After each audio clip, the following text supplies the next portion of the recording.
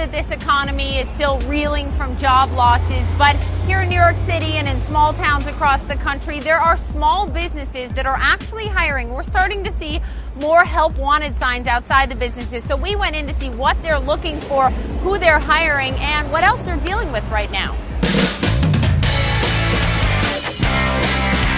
When did you post that hiring sign outside? We've had it up and down for a couple of months. We are actually taking our time hiring people because we can. We have a huge stack of resumes that we didn't have four months ago.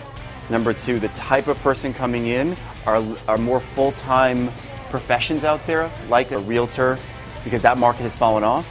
Uh, bankers that were laid off, What do you think small businesses need the most right now? financial support, but they have to be smart about it too. I mean, we can't, we can't depend on the government to fix all of our problems. From your perspective as a small business owner, is the economy better now than it was a year ago? I can't say it, to be honest with you. I don't feel that. I know there better. are some numbers out there, but we, we don't see it. So why are you hiring? You just need need enough staff? We don't have enough. What would you tell the administration? I need help through banks. I don't need the money from the government, but I need a way to get loans. So you're actually hiring right now, even given the state of the economy. Yes, we are. Uh, we're always looking for someone uh, with good customer service skills. Has the economy turned the corner that it makes you more comfortable to hire as a small business? I think so. Yes, because uh, it seems like um, business has picked up. It has picked up, and I think this past year we're having a good year.